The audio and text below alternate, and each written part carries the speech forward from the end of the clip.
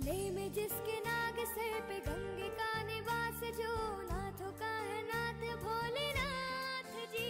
करता पाप का विनाश, कैलाश पे निवास डमरू वाला वो सन्यास भोलेनाथ जी। जो फिरता, मारा मारा, उसको देता वो सहारा तेरे लोग का वो स्वामी भोले नाथ जी। रख दे